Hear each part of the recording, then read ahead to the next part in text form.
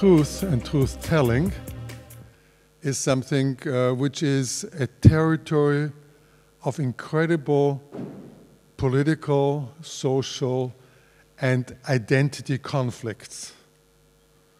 There's an app, entire app universe, which is called Social Truth.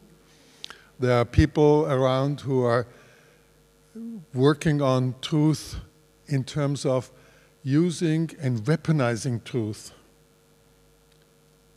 How does somebody like yourself, who has so much faith in the transformative potential of truth telling, deal with the fact that through digital and through social media and through all the advances which we have, we are actually getting into a territory where we are losing the grounds of what is reality and not just that we are not discovering what history is, but that the reality on which we are meeting with each other is in doubt.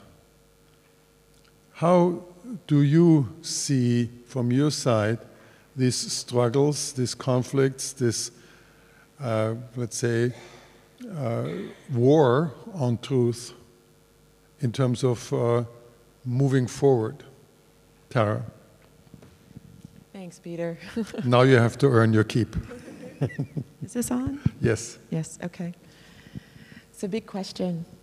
Um, I think it's a it's a big question that lots of people are wrestling with. So I won't say I have the answer. Um,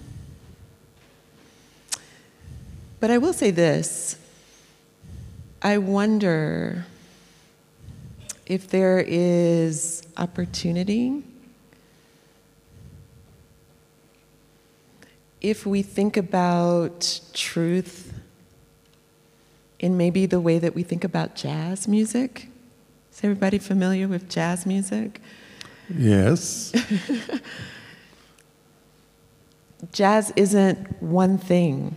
Um, and even in the same song, you have harmony but you also have discordant tones. It isn't about one particular tone that is truer than another um, or that is better than another. But the beautiful thing about jazz is that there is room for it all, and it all makes a beautiful sympathy, symphony. So I wonder if the opportunity is to not silence. I mean, people's truths are their truths. There, there's a quote, even though I cannot prove where she said it, I've been searching for this, but I hear that this is absolutely something that she said, and I seem to remember it. There's a writer named Toni Morrison um, who wrote some beautiful, Pulitzer Prize winning, amazing Nobel Prize winning author. And she said she wasn't interested in facts, she was interested in truths. There's something about the what we know and what we feel that is true. But is the power, is, is a possibility of the power in surfacing more and more of those truths. Because history is complicated, it's ambiguous, it's nuanced, there isn't one single way to look at it. So perhaps we enter into this space in the way that jazz musicians enter it, and we make room for it all. And maybe that takes some of the power away from the things that are harmful. And that is more of my concern is what are the truths that harm people? Um, and how do we heal those spaces so that they're not harming but it's okay that people have really different perspectives. And the last thing, I'll just say this one last thing. I also think that it's really important that marginalized voices, that voices that aren't often included in understanding the world, are given an opportunity to be heard and to rise to the surface. Marcus, Amazing, you thank feel you. Uh, engaged. I am feeling engaged, Yes. yeah. Thank you, Peter, and thank you, Tara, for that amazing um, session. as you were talking, I was reminded of an African proverb that I only discovered recently. And you are a lion. And the reason that you're a lion is that um, in this proverb it says that until the lion learns to write, that people will only read the hunter's story. And I think that's really a, a brilliant way of summarizing the, the journey that you're on. Um, and it's so important, but I think it can apply to so many different groups around the world. And so, thank you for everything that you're doing. Until the lion learns to write, everybody will hear, hear only the hunter's story. That's the proverb. Yes. Okay. Renuka, what do you make of this conversation before we transit to uh, the more structural and uh, the more economic side of uh, social cohesion creation and hacking? It's on. Is it on? Yes, you, and you would speak into it closely, please. Okay. Um, thank you, Tara.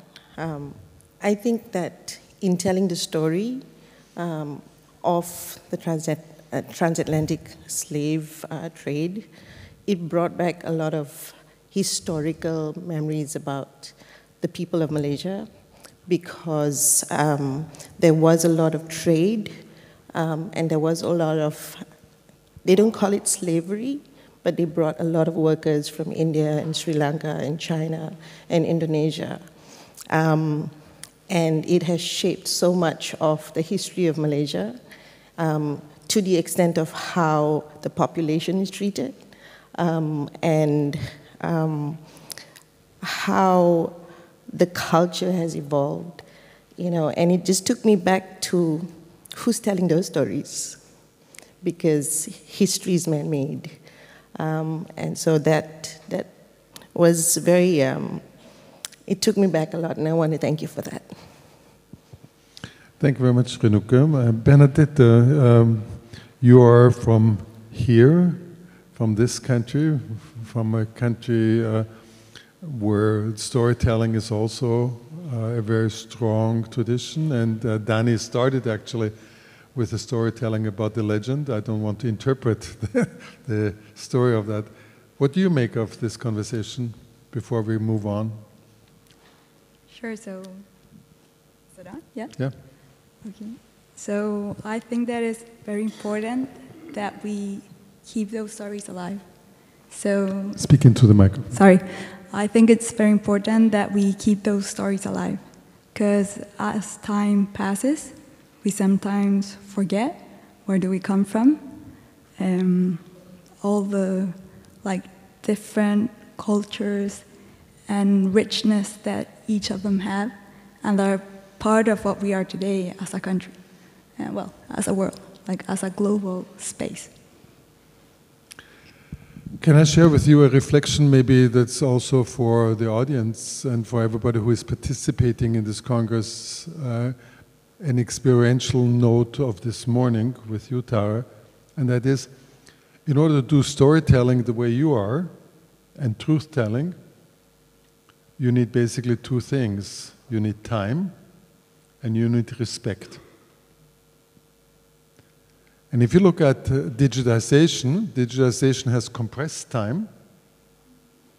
And uh, in the 60s and 70s, people were looking at uh, television advertising, and there are books on jolts and how advertising is actually creating on television these jolts. But if you look at modern day filmmaking and even video games, you can see that the jolts are not anymore in seconds, but they're in microseconds, and that it is that you are basically, I mean, living in a world of flashes, content flashes.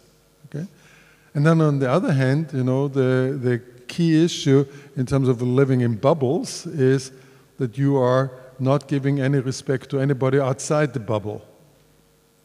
Right? So there's a challenge when we look about social cohesion and also investing in content, in applications and things like this, how do we create that, that we are getting funding for things where things are taking time, they are opening up the hearing, like it was very interesting the way you are using audio audio and radio as something which is operating in time differently than the visual because you cannot compress the time.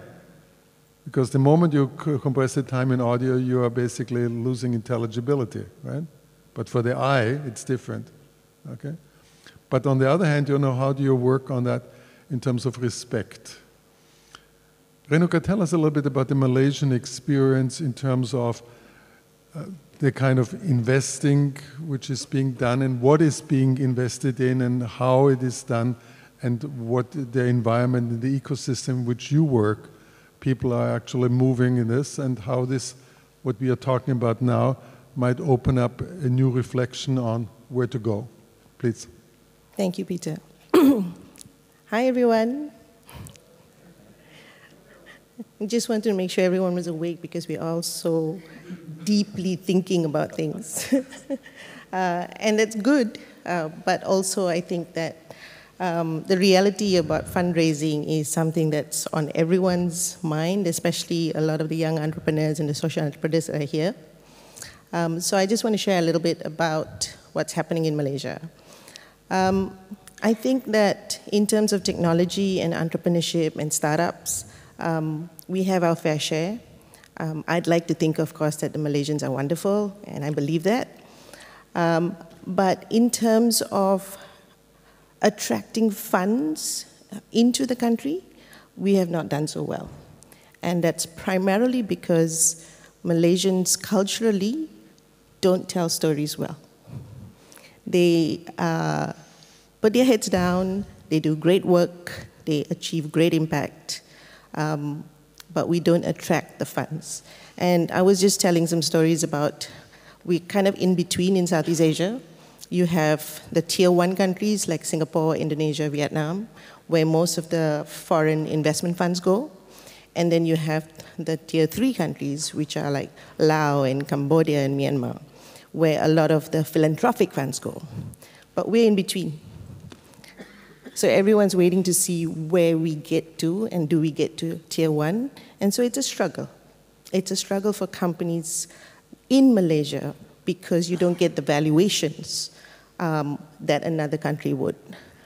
Um, I would say that in the past three to four years, there has been a lot more discussion around impact investing um, our national sovereign fund has set up, uh, for us, it's a big amount, which is 1 billion ringgit.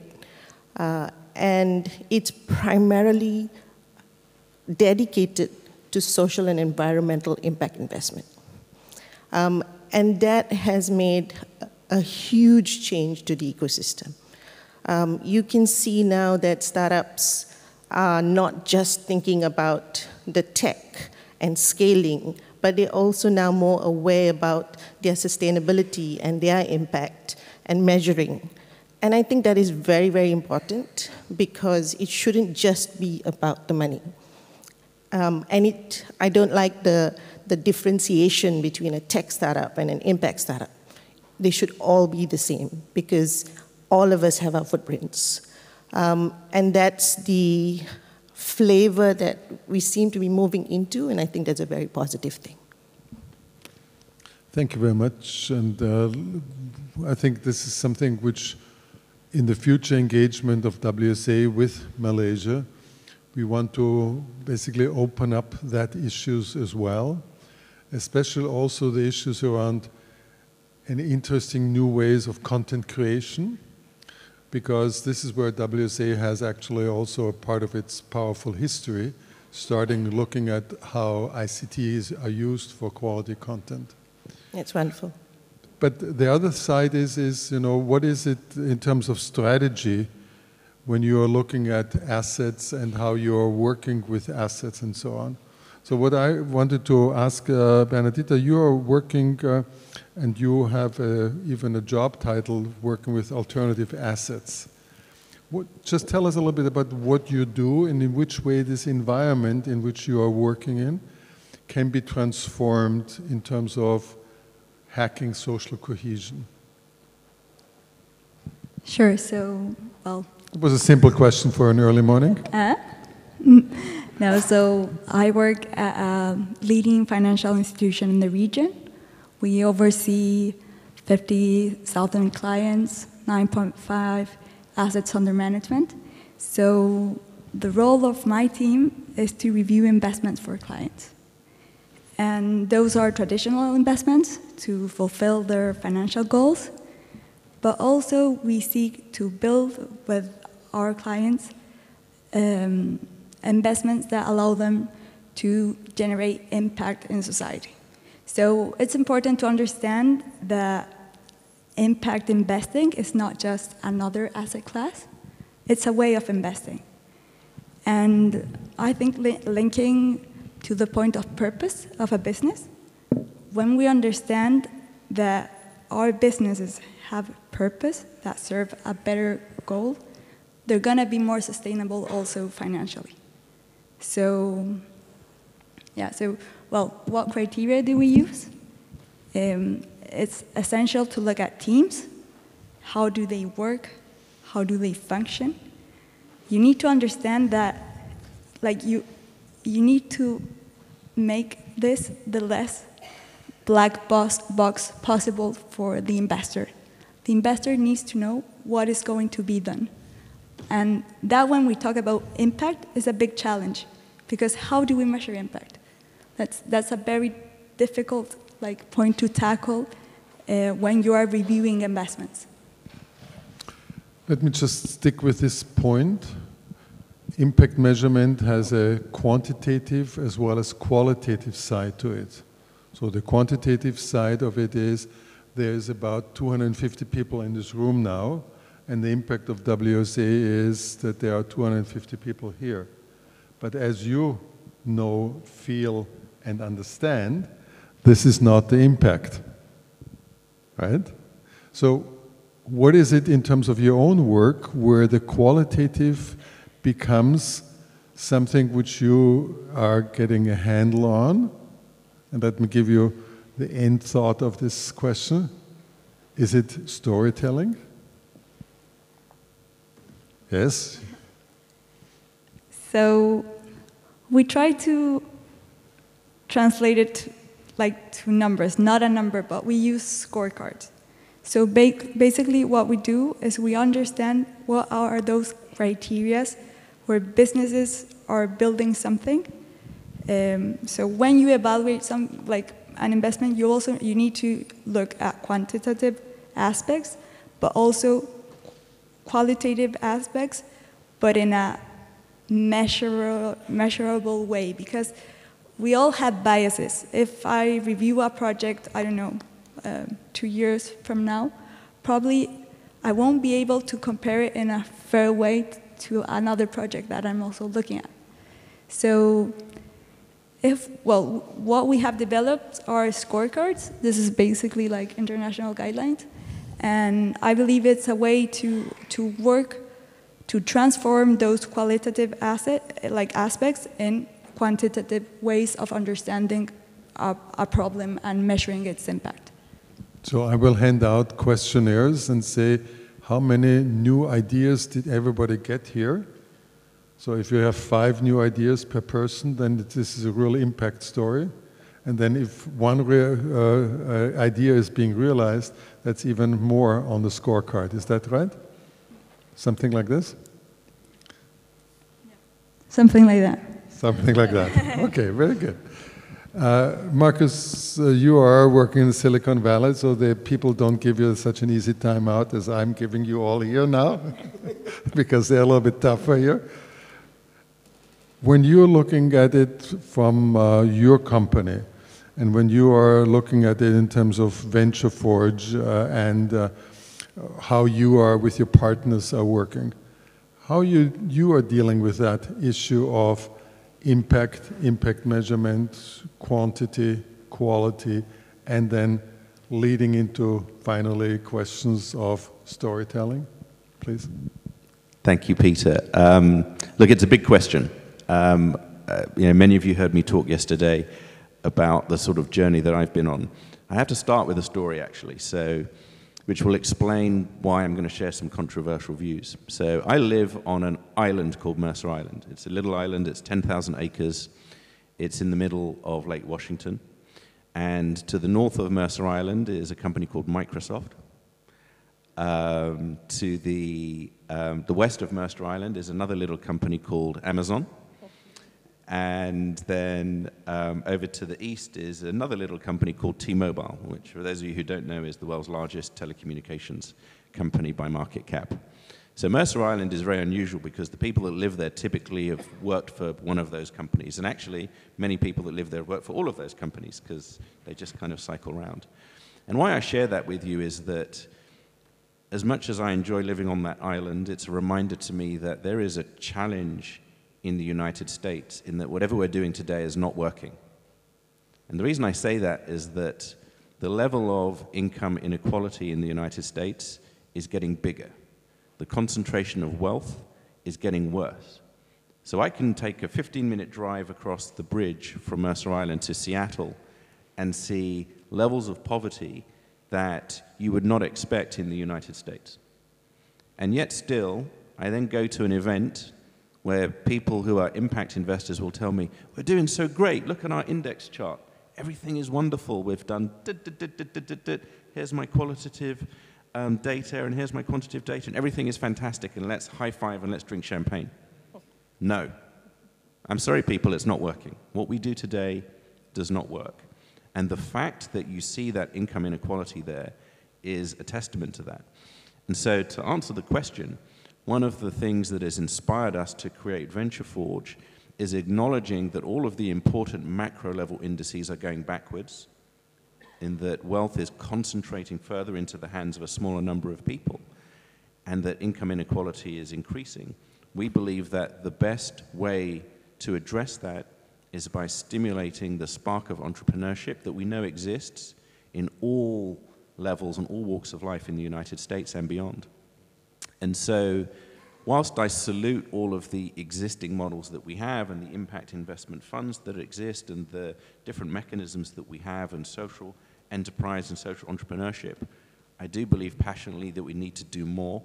And what we hope to do at Venture Forge is create a model that truly looks at how we can take the surplus wealth that is being created by some of the people that are my neighbors, unfortunately, and how we can get some of that wealth into the hands of impact entrepreneurs and social entrepreneurs who need capital in order to tackle the problems that humanity is facing. So I'll stop there because I'll talk for hours otherwise. No, you were, you wanted to issue an invitation for WSA to come to your island for our next global congress. Yes, I realize this that, that you're just uh, making a pitch. Okay. Very good. Tara, you started off with your uh, story today by linking up with this space, and you said um, there was a time not long ago where you were working for Startup Chile. When you look at this, uh, reflection now of your last five years being uh, engaged in um, the scuba diving, uh, being financed by uh, the National Geographic, uh, and then go back again to where Startup Chile has evolved from over the last uh, 10 years. What is your take on in which way social impact investment can actually support and work for types of work like you do, not exactly that work, but types of work like this, and for all the other people who are in this audience here who are really trying to think how do I engage, how do I make this kind of in depth, moving storytelling part of the work which I do, but not derail it in terms of the financing which I need for my work. Tara, please. You got all the really big questions, Peter. That's the He's like, reason why you're getting coffee afterwards. No coffee when you're not good an answer, or at least coffee without sugar. Go ahead. I think so. I'm gonna I'm to say something, but then I think I want to ask a question back to you guys because uh, I'm curious about your perspective on this. When I did uh, Startup Chile in 2012, I had a, a social enterprise um, that supported girl changemakers around the world, and we were trying to help these change makers do the work in their communities and we were trying to help them raise money and tell stories about the work that they were doing. Um, and i ran the social enterprise for six years and it was hard. Like it was really hard to monetize it. We were able to attract some funding. So we got funding from startup chile we got funding, funding from toyota from other philanthropic organizations, but it was hard trying to build a business model. And we spent a lot of time in Startup Chile trying to figure out how do we monetize this? How do we make it make sense? Um, and I don't know that we were successful. Like, I ran the enterprise for six years, and during that time, I took a second job because um, we, we weren't able to attract enough money to really pay for team. The work that I'm doing right now with National Geographic comes from grants that they give to me. So my first um, bit of travels with the divers, I got their level one grant, and that was the money that I needed to be able to travel and tell the story. And then I went back to them for more funding to be able to do the podcast. And they gave it to me, and so that's how we were able to do that. And now with this project, which is a really ambitious, big, expensive project, and Nat Geo is funding a part of it, but we're also going to be in a fundraising conversation to get more funders because it's um, an expensive project. But without National Geographic's endowment, its funding, I probably wouldn't be able to tell this story and to do this work. And I think that this work is important. Um, and it's work that maybe doesn't need a business model. Like maybe, yeah, so I guess the question that I want to ask you guys um, and I imagine this might be the case for some people in the room. Social entrepreneurship is really hard when you're trying to have three P's and you gotta, it's all the things. And you're still trying to run a business, which is hard in and of itself, but then you're trying to change the world. So I wonder, like, what is your thought? And I would ask this to you as well about well, and we do have room for philanthropic efforts. But this idea of trying to turn impact work into work that generates its own income is hard.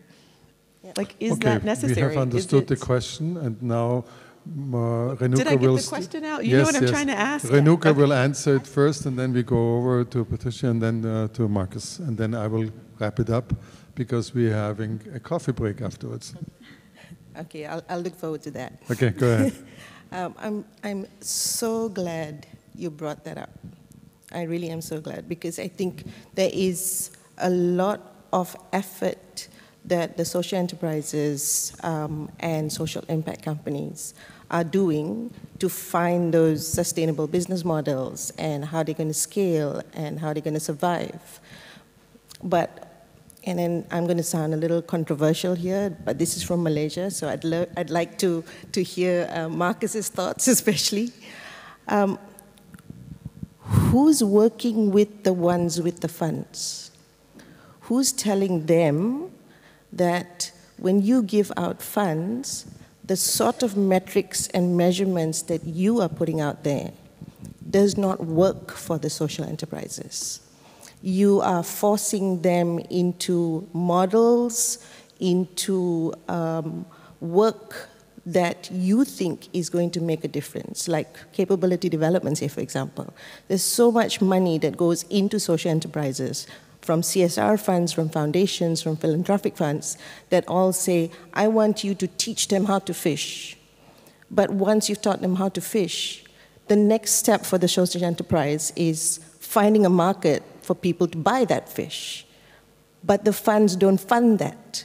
The funds want more capability development. And so social enterprises need to actually work on whatever it is they are working with the communities to develop. They need demand side and they need help with the demand and the sales and then to continue the good work what they do. But because the way the grants and the foundations and the philanthropic funds think and the CSR projects that these corporates want to showcase and tell stories about don't actually understand each of those social enterprises and what they need to do. Very good. It's like uh, education, and then you have PhDs who are taxi drivers because there's no demand for what they have learned. Yes. Thank you very much, Renuka. Bernadita, please. Do you have a microphone? Yeah, we're great. Yeah, I think that, at least in my opinion, uh, these type of challenges need to be addressed uh, by multiple actors. So, for us, like, what do we do on our day-to-day, day-to-day, is to work and produce the best financial returns for our clients that are high net worth individuals, foundations, and uh, endowments. So then they have their like philanthropical like projects. We, we work with a lot of foundations that basically they are financing their day-to-day -day operations. And our role is very important in that preservation of capital. But then in the other side, you can, can produce new solutions. So for example, last year we worked with a, um, a corporation that's called Bien Público, and we developed a solution where our clients can finance through social bonds some specific goals related to education in vulnerable parts of Chile. And then you have a third party that is willing to pay if that goals are, um, if those goals are met. So this is not going to be like a great return for clients. It's like a normal return, but then you have the purpose in there. So if you work on building those solutions with different stakeholders from the public, private sector, then you have relationships and you build relationships with the people that are making the, the change. It's not like a one-time financing. Thank you very much. Uh, I think that is uh, very telling, and I will come back to right away, because what you are doing is both you're giving a very good answer to the individual entrepreneur. Marcus, what is your answer to this question from Tara? Yes, and I'll, I'll make it quick. So I'm glad that Tara's here today because um, we haven't met before, but as we discussed yesterday, I used to be on the leadership team of National Geographic. How many of you have heard of National Geographic? Raise your hand if you've heard of National Geographic. Of course, it's one of the most, it's one of the revered, most revered brands in the world. National Geographic um, in the early 2000s was going to disappear. And the reason it was going to disappear is that philanthropy doesn't work. And so it was an organization that was entirely funded by philanthropic donations. And they had to embark on a different strategy because literally it was months away from disappearing. And they did something incredible. They realized that they needed to become more of a social enterprise. And they found the most unusual of partners. Does anybody know which partner National Geographic found to save it? It was Fox, Fox Group. Yes, the people that do Fox News and Fox Sports. They acquired 73% of National Geographic and took ownership of the brand and created a new entity called National Geographic Partners. That provided a cash injection into the National Geographic Society of just over a billion dollars. That billion dollars is the money that funds the activities for people like Tara today. Now, why am I sharing that with you? Because there's a clue there into what we need to do in the future.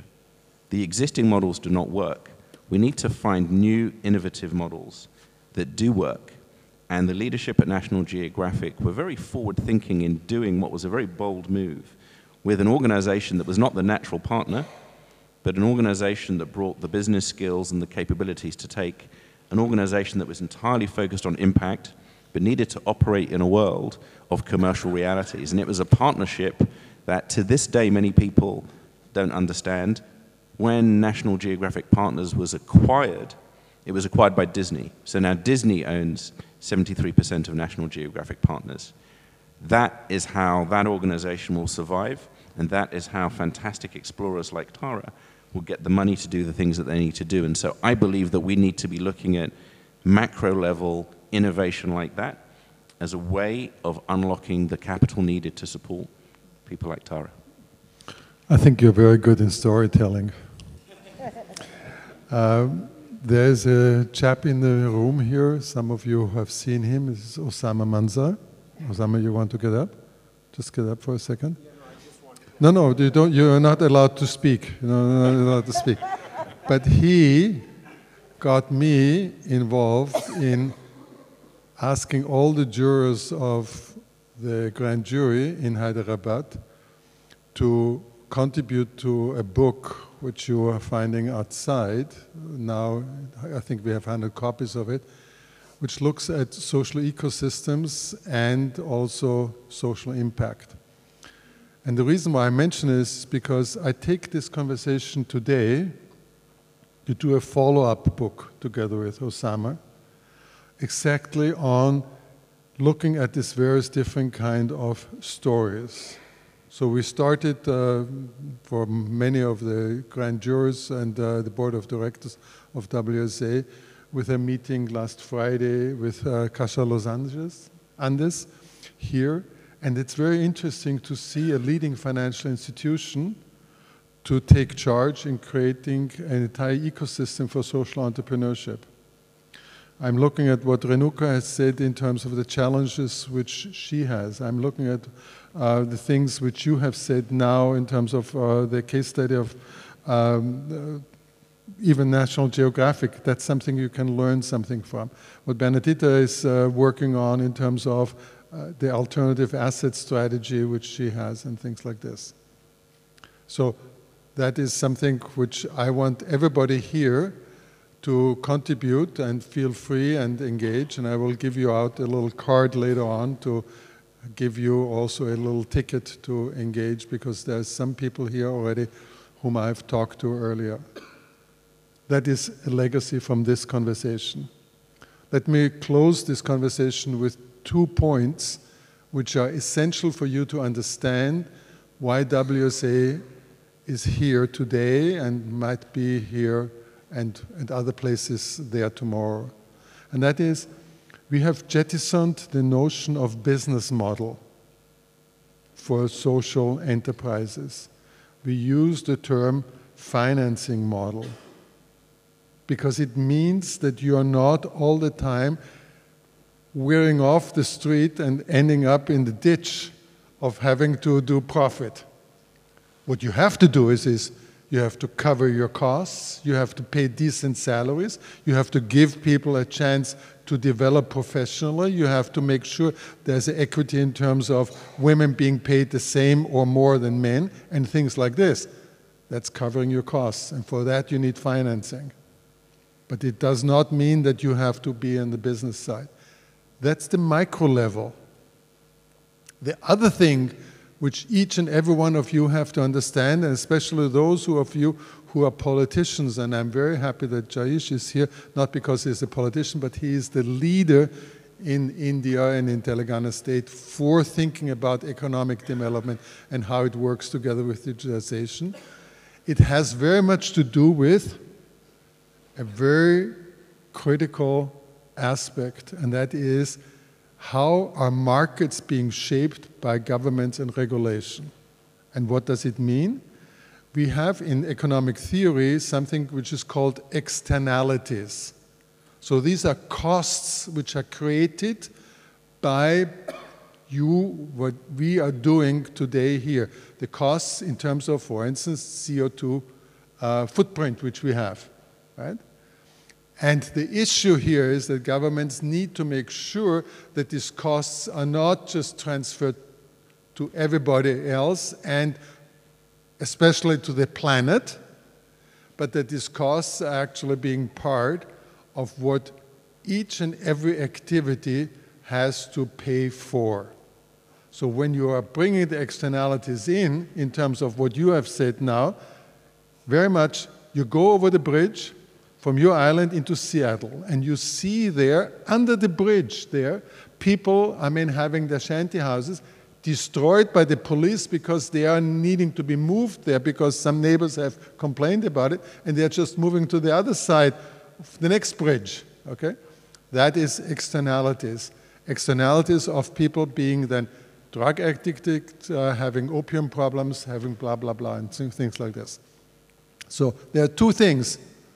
WSA is very clear. What we need to do is, is we need to have sustainable financing models, and we have to also be aware that externalities need to be included in every activity. That way, Planet Hack will work. Thank you very much for this morning.